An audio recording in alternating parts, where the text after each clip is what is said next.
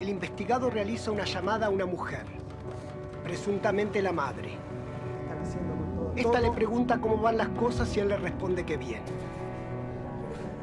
La señora le dice que los árboles frutales han florecido y que le está haciendo un dulce de melocotón para cuando esté de vuelta por ahí el silencio del Bien, ahí pueden ver y también escuchar, eh, ya sea tanto por YouTube, por Twitch o por la radio, si nos están viendo. Bueno, el tráiler justamente de la película, el corresponsal, ya conté todo yo. Le avisamos a Emiliano Serra que debe estar del otro lado ahora. Ya conté incluso que Emiliano, bueno, se formó obviamente en diseño, imagen y sonido y que ha dirigido también películas como Cartero, como también La Raulito Golpes Bajos en 2009, Cannabis Medicinal 2023 y esta el corresponsal que aún está en el Gomondi y va a estar en varios espacios Inca en los días subsiguientes, que va de justamente la cobertura de la prensa, ¿no? Cómplice en la región con las dictaduras. Y bueno, y les contaba que ya había pasado por Bafisi y que tenía en, el elenco a Gabriel Rosas, a Gabriela Pastor, a Agustín Rita, a Eugenia Espano, Espago perdón, y a Jorge Pradón. Ahora lo tenemos del otro lado de la línea, Emiliano Serra. ¿Cómo estás? Te saluda Pablo de Frecuencia Cero.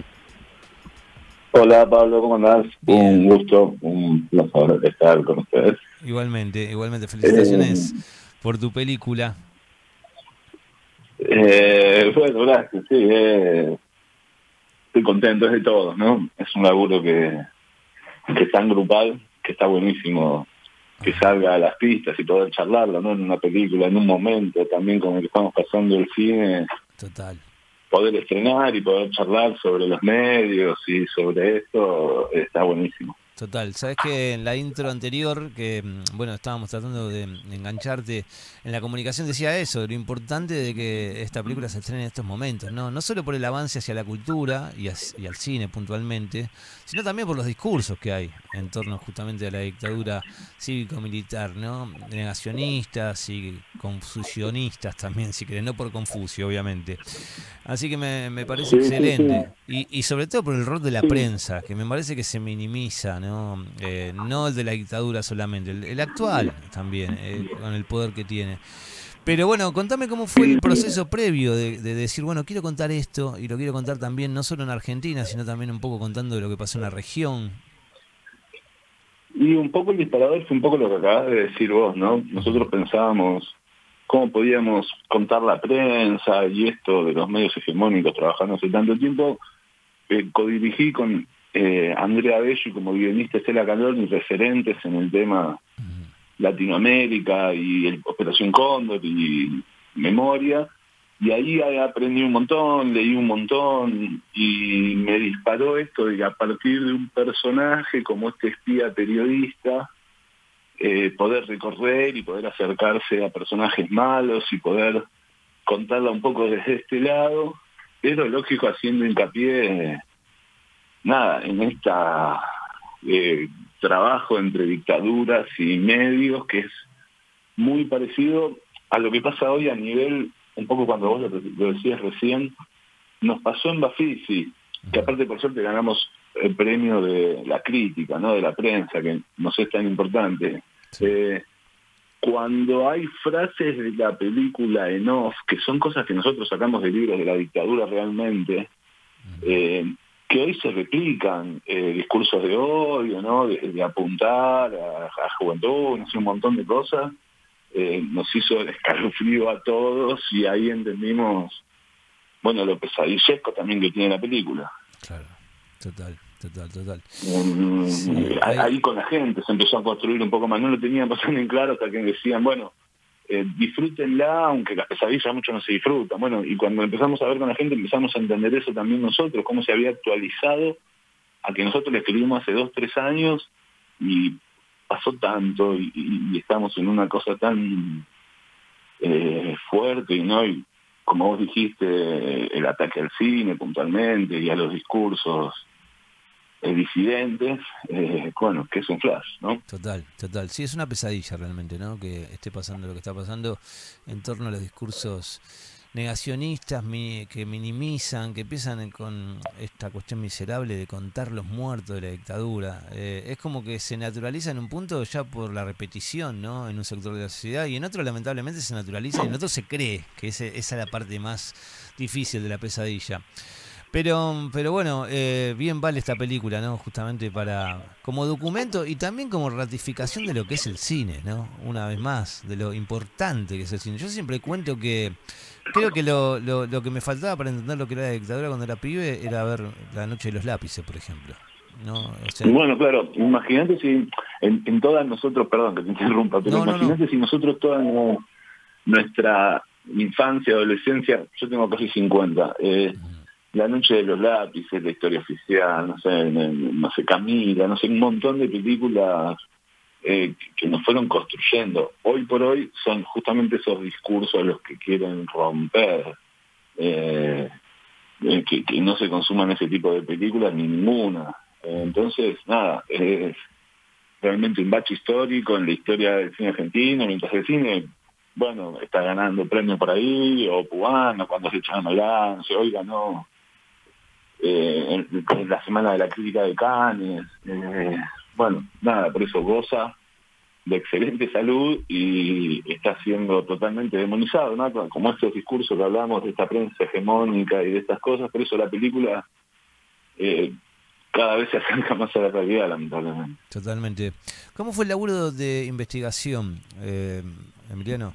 Me interesa saber esa parte porque, bueno, evidentemente eh, eso también hace a la cuestión, ¿no? Digo, porque mm, más allá que sabemos que la prensa tuvo un laburo eh, determinante conniviente con la connivente perdón con la dictadura bueno eh, capaz que entiendo que, en la investigación también aparecieron cosas que ustedes desconocían no y hizo también a, la historia por completo nosotros al haber hecho operación Cóndor ahí como dice Estela Caloni que es, como son mamuscas eh, porque fueron como mil casos eh, interdictaduras de Latinoamérica y había notas que salían eh, acá en la editorial Atlántida, en el Mercurio de Chile, en el No Globo de Brasil, la misma nota mentida. La misma nota, de que habían, sí, de que habían secuestrado, viste, cuando mentían un enfrentamiento, eh, que era un enfrentamiento armado cuando habían chupado gente y ese tipo de cosas,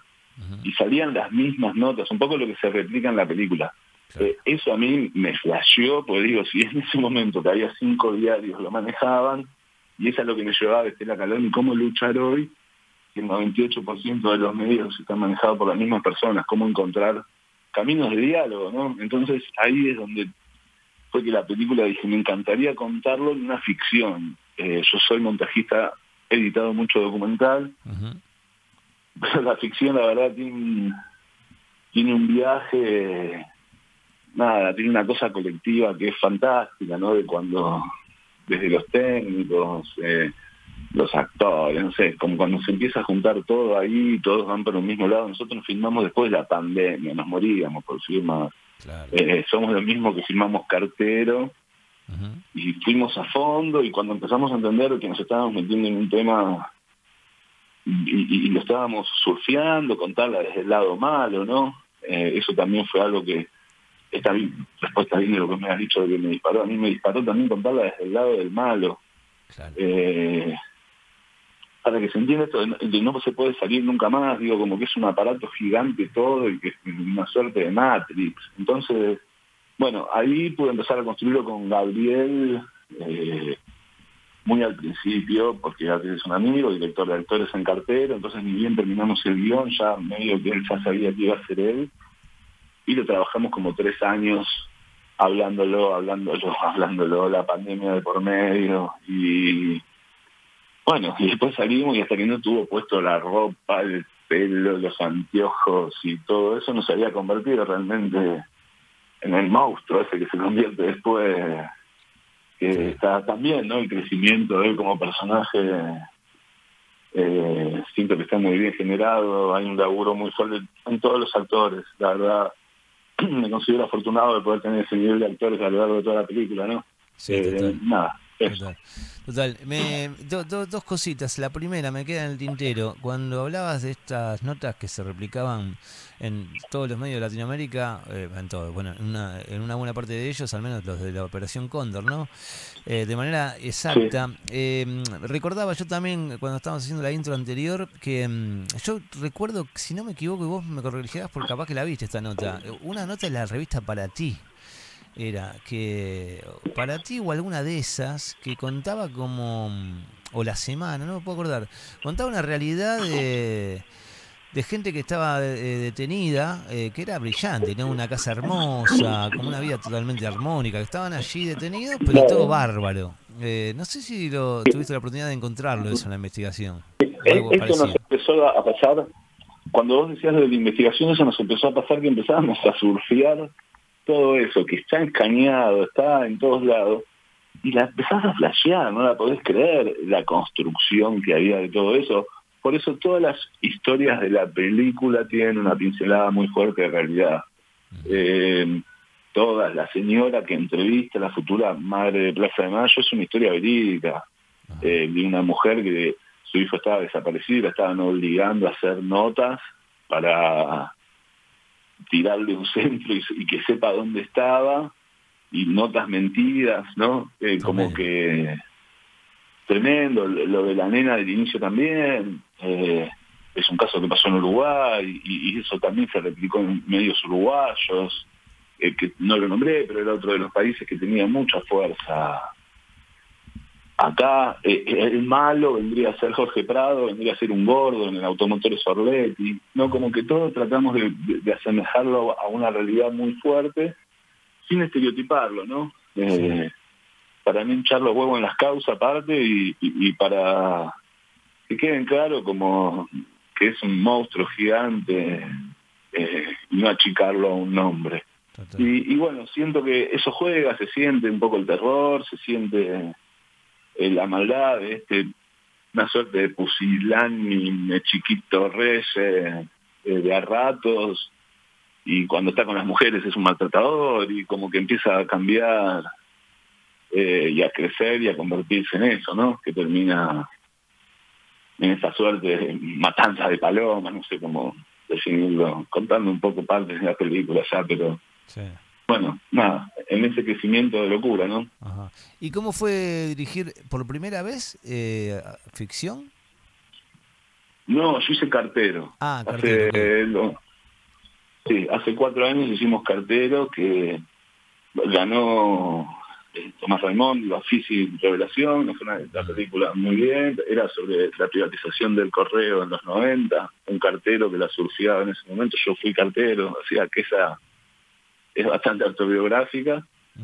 Eh, pero bueno, siento que la ficción es una cosa muy linda, eso grupal, ¿no? El documental también, pero acá es en un momento que hay 30 personas, 35, yendo para un mismo lado y generando y bueno, nada, se pueden hacer muchas cosas entre todos, por eso sabemos que la salida es colectiva. Siempre. Así que entre todos tenemos que tratar de, de organizarnos un poco y ver cómo hacemos que tantos espacios como el cine, en este caso, eh, podamos convivir. Bueno, por eso agradezco la difusión y el, apoyo siempre de los medios como ustedes, ¿no? Por favor. Eh, Emiliano, decime, ¿cómo prosigue mm, lo que tiene que ver con el derrotero de la película? Porque, bueno, entendemos que hoy es el último día en el Gomont, vos me dirás si sigue mañana, o sea, es decir, si sigue una semana más. Sigue en Gomont. Vamos ya, ya me confirmaron, y, dos semanas más también, porque vienen muy bien, así que hoy, mañana, a partir de mañana está en la sala 1, en la sala grande, a partir de las 18, a las 12.15 me parece, y a las 18.15. eh, y después está en muchos espacios Inca, en La Matanza, en Caseros, eh, y después Palpalá, el, el Bolsón, como un montón de espacios Inca. Sí, y eh, bueno, nada, estoy contento, la verdad que estamos teniendo excelentes repercusiones, muy buena onda de los medios y, y de pares, eh, también el compromiso al momento y demás, así que, bueno, nada, intentar seguir combatiendo. ¿Cómo, sí, total, insistiendo. Eh, ¿Cómo fueron las recepciones hasta ahora? ¿O, querés destacar alguna que te eh, emocionó, que alguna muy fuerte en el Bafisi, no sé, o quizás el primer día en estuvo bueno. Ah, estuvo bueno que ganamos el premio de la crítica, mejor película, mejor color y, y, menciona la banda de sonido. Y después no sé, referente, no sé, Víctor Hugo, que mensaje. Hoy habló muy bien de, ustedes, ¿eh? ¿eh? hoy, justo habló también. Y de Gabriela dicho no sé, como los medios así, que siempre bancan, está buenísimo, digo, no sé, siento que hay un montón de gente que sabe bancar el cine, no lo digo por mi película, hoy me tocó medio estar a mí estrenando en este momento terrible, pero eh, llevando la bandera de nada, de todo lo que estamos en labur y de todas las películas y de identidad que se está perdiendo día a día. Así que, bueno, contento por ese lado y que el apoyo de, todos, ¿no? Inclusive, como te dije ustedes, pero bueno, eh, Víctor Hugo, eso es un mimo, ¿no? Eh, referentes de ese estilo. Total, sí, sí, hoy habló muy bien de la película. Totalmente. Eh, bueno, Emiliano, la verdad que un gustazo hablar contigo. Muchas gracias por este tiempo. La mejor para lo que sigue con la película. Estás invitado cuando quieras a charlar en general del tema, más allá de la peli, ¿no? Porque es súper interesante, realmente. Es eh, inverosímil eh, ver lo que pasó y más inverosímil creo yo es que si sabemos lo que pasó, que ahora se estén dando estos discursos, ¿no? Tremendo desde la presidencia. ¿Cómo puede ser? Es algo es algo que lo veíamos también, nos pasó, lógico nos pasa todos los días, pero al verlo en la película dijimos, chao. Eh, ¿Cómo puede ser? Nosotros sacamos textual de los manuales de los milicos, cosas de texto medio capuzotianas casi. Sí. Eh, y hoy ves las mismas frases. Eh, Nada, bueno. Eh, bueno, ¿te acordás en la pandemia que eh, denunciaban que se venía el comunismo, un sector, yo entendía que era un grupúsculo, ¿no? En ese entonces 2020. Y bueno, ahora tenemos un presidente que habla de eso. o sea, es tremendo. No, sí, sí, sí. Y, bueno, nada, y los medios todo el tiempo, y el, bueno, nada, el Luna Park, hoy están en el Luna Park. Eh, y bueno, bueno, igual eso, tenemos que me parece que la comunidad es grande, están los actores, están los medios, digo, hay mucha prensa eh, que también eh, la va a estar luchando, lo, mismo lógico Tela, no sé. Eh, nada, me parece que es el momento también de que todos empecemos a juntarnos un poco y a cranear un poco políticas, ¿no? Como se tendría que rearmar todo. De una, de por ahí va, totalmente. Bueno, contá conmigo para lo que necesites, eh, la película y a disposición. Muchas gracias y un gusto. Dale, Emiliano, abrazo gigante, que estés bien, ¿eh? Igual, chao, chao.